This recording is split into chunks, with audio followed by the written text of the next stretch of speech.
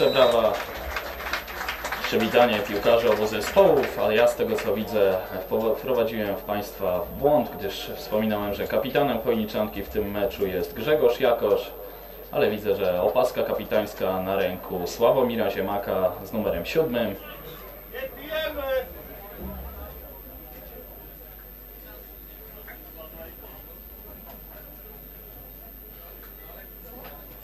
Za chwilę losowanie stron, tak jak wspominałem, z numerem siódmym kapitan Chojniczanki Sławomir Ziemak.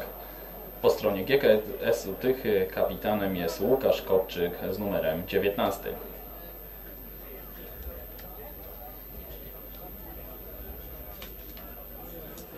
Więc początek dzisiejszego spotkania i oczywiście proszę Państwa o gorący kulturalny doping dla obu ekip. Rozpoczęła Chojniczanka, Robert Sierant.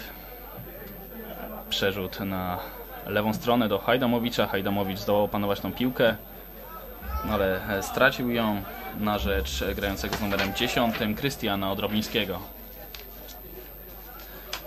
Chojniczanka w identycznym zestawieniu wyjściowym jak w Legnicy. Trener Kapisa nie zdecydował się na żadne zmiany. No i zobaczymy, czy rzeczywiście tym razem Maksyma składu się nie zmienia, będzie miała zastosowanie do chojniczanki. Dla GKS Tychy już e, wykonany. 18 Dominik Kruczek. Złe zagranie piłkarza, który ma obywatelstwo zarówno polskie, jak i niemieckie. Grał kiedyś w Borussii Mönchengladbach. Na początku w GKS-ie jako rezerwowy, ale w kilku ostatnich kolejkach pokazał się z dobrej strony. Trzy bramki, m.in. gol z Zagłębiem Sosnowiec i dzisiaj trener GKS-u Rafał Górak zdecydował, że Kruczek wybiegnie w podstawowej 11. Przewracany w środku pola e, parzy. Gwizdek sędziego Gałązki milczy. Jaromin. Jaromin zbiega do boku. Jaromin cały czas utrzymuje się przy piłce, ale nie zyskał e, dystansu. Teraz e, daleko starał się zagrywać do grającego z numerem 16 Mateusza Żyły, ale przejęcie przez Chojniczanki. Ziemak Ziemak do Lenarta. Lenart, obok niego jeden zawodnik GKS-u, do Ziemaka. Ziemak. e, Kolejne niecelne zagranie. No i w końcu strata Hajdamowicza. Nie najlepsze te pierwsze minuty w wykonaniu byłego gracza Czarnych Żagań i Orła Ząbkowice Śląskie. Teraz jeszcze faulował z numerem 11 Jaromina i będzie groźna okazja dla GKS-u Tychy przypomnieć sobie mecz, w którym było inaczej, to oczywiście bezbramkowe spotkanie w Nowym Tomyślu. Dobra interwencja Barana, atakowany przez Jaromina, oczywiście ewidentny faul 32-letniego piłkarza, ale Krzysztof Baran nie ucierpiał jakoś szczególnie, już wstaje i za chwilę poda piłkę e, do jednego ze swoich partnerów. Jaromin miał jakieś pretensje do sędziego. Teraz e, arbiter upomina go, aby trzymał nerwy na wodzy, gdyż w przyszłości będzie karał takie zachowania żółtą kartką. Teraz piłka krąży po całym boisku. Po stronie GKS-u Tychy, z tym, że to ostatnie podanie, które miało otworzyć drogę do bramki dosyć niedokładnie. No ale na szczęście dla przyjezdnych wciąż oni w posiadaniu e, piłki. Uwaga, potknął się tam Krzysztof Baran z numerem 18, wbiegał Dominik Kruczek, no ale całe szczęście, że ta strata równowagi naszego bramkarza nie miała wpływu na e, stratę bramki bądź na jakiś groźniejszy strzał Kruczka. Gwizdek sędziego cały czas milczy, choć teraz wydawało się, że Mikołajczyk faulował rywala. Hajdamowicz.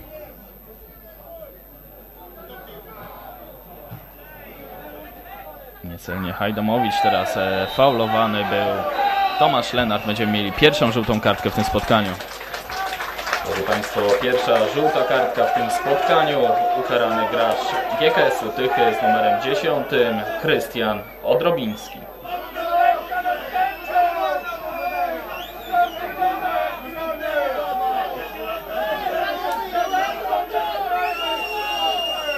który w tamtych obu spotkaniach strzelał bramkę już w polu karnym. Parzy. Hajdamowicz, e, był tam jeszcze Ziemak z woleja obok bramki.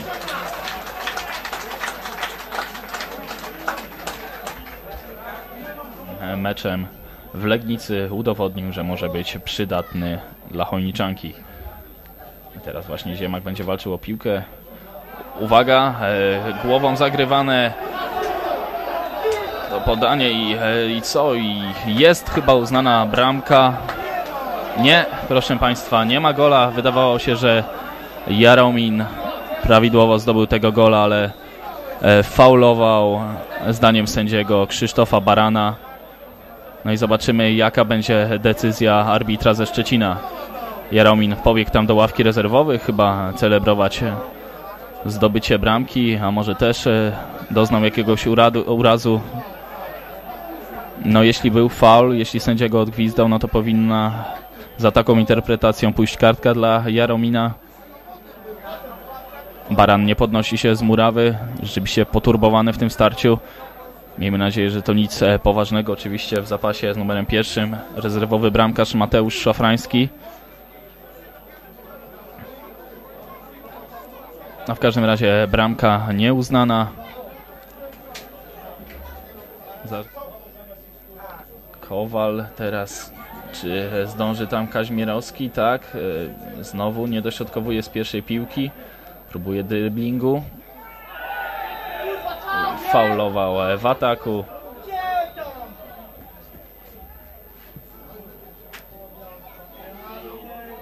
No i za chwilę powinniśmy dostać informację, o ile zostanie przedłużona ta pierwsza część spotkania. Na razie sędzia techniczny nie wznosi tablicy.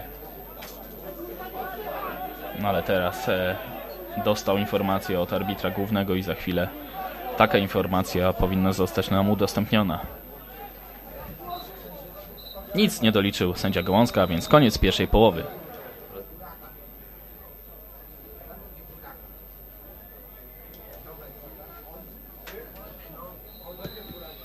A Więc rozpoczęta druga połowa jak zwykle proszę o gorący kulturalny doping.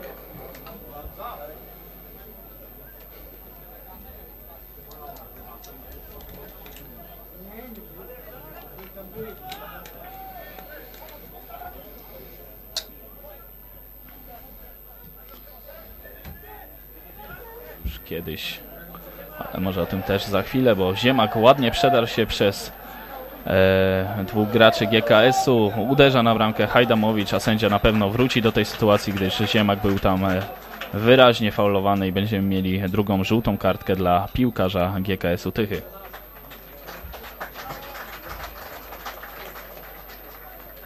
E, Na tablicy wyników wciąż jest 0 do 0. Uwaga, może teraz lepiej zachowa się Lenart. Lenart, ale złe dośrodkowanie. Będzie jednak rzut rożny dla Chojniczanki. No i zapowiadana zmiana. Dośrodkowanie z rożnego. e, Ryzykownie wychodził Kojdecki. I e, drugi rzut roczny dla Chojniczanki.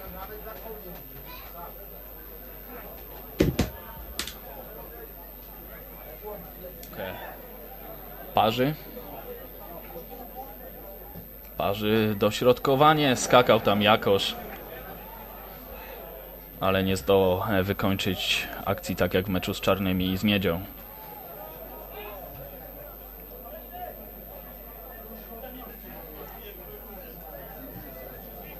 Teraz Łączek, nie było spalonego. Łączek strzela, no i teraz na wysokości zadania Krzysztof Baran.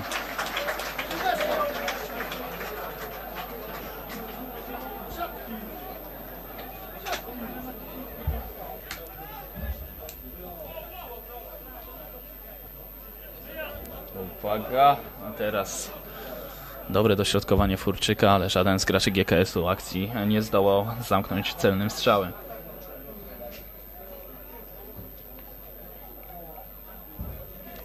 Andruszczak do tej pory e, pewny gracz wyjściowego składu, ale e, w Legnicy usiadł na ławce i dzisiaj również mecz rozpoczął jako rezerwowy. Teraz e, ma szansę i minimalnie zabrakło teraz paru centymetrów Kaźmierowskiemu. Najlepsza okazja obu zespołów w tym meczu. Wspominałem, że Andruszczak rozpoczyna na mecze na ławce, ale tą asystą mógł udowodnić, że dużo wnosi także jako piłkarz podstawowego składu. No szkoda, dosłownie parę centymetrów albo parę, parę chwil wcześniej, gdyby Kaźmierowski wystartował do tej piłki, no to Chojniczanka na pewno w tym meczu by prowadziła. A mecze drugiej ligi dzisiaj nie obfitują w ilość bramek 0-0 na wszystkich boiskach. A tymczasem trzecia kartka dla piłkarza Chojniczanki, tym razem Sławomir Ziemak.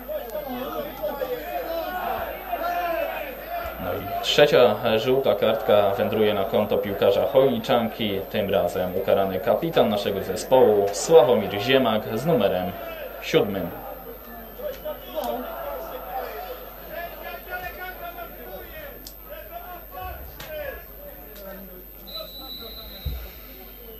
Feruga, niezłe dośrodkowanie i na posterunku kolejny raz Krzysztof Baran.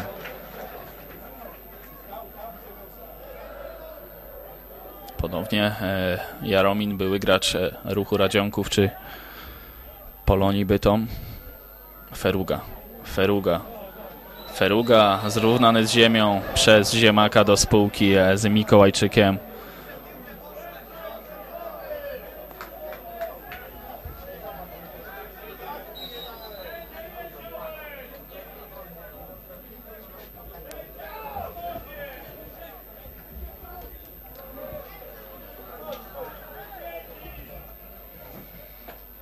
Druga także w GKS-ie Tychy.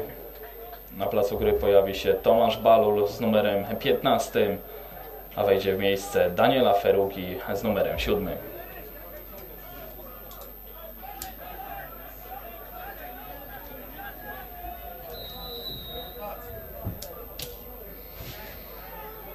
Furczyk wybija piłkę Gipczyński. Ponownie Furczyk. Jeszcze GKS, ta piłka wciąż spada pod nogi przyjezdnych. Teraz e, nie kalkulował Kaźmierowski. Wybił piłkę na aut. Był taki okres e, w tej rundzie, że Chojniczanka notowała remis z remisem. Później dosyć sinusoidalna forma, e, zwycięstwo na zmieniało się z porażką. No i wygląda na to, że e, dziś Chojniczanka wróci do remisów, bo 5 minut przed końcem w dalszym ciągu bez bramek w spotkaniu z GKS-em Tychy. Nie kalkulował Lenart. Doszedł do piłki e, Gipczyński. Sędzia nie zastosował jednak przywileju korzyści. No i ze własnej połowy rozpoczyna Jakosz. Mikołajczyk. Sędzia już e, trzyma, trzyma w ustach e, gwizdek, ale teraz niesportowe zachowanie Huberta Jaronina. Chwycił piłkę i zasłużenie czerwona kartka za ten bardzo brzydki gest doświadczonego gracza GKS Otychy. Proszę Państwa, czerwona kartka dla gracza GKS Tychy za niesportowe zachowanie ukarany Hubert Jaromin z numerem 11. Nie było żadnych wątpliwości e, co do tej kartki. Takich e, zachowań nie można tolerować. Oczywiście rozumie, można zrozumieć też e, rozgoryczenie Jaromina, który, którego bramka nie została uznana w pierwszej połowie, ale takie reakcje są kompletnie nie na miejscu ale dzięki temu Chojniczanka będzie miała jeszcze szansę na to, by coś w tym meczu e, zmienić. Ziemak.